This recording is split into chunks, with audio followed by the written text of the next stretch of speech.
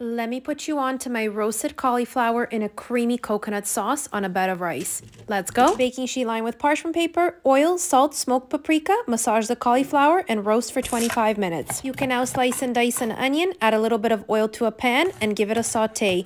Finely dice the garlic and add it in the pan as well. Add salt, pepper, and turmeric powder to taste and give it a stir. Add the tomato sauce and the cream that sits on top of a can of coconut milk. Stir and let it simmer for a few minutes. Add the roasted cauliflower, some chopped spinach is optional, top it off on a bed of rice, and follow for more.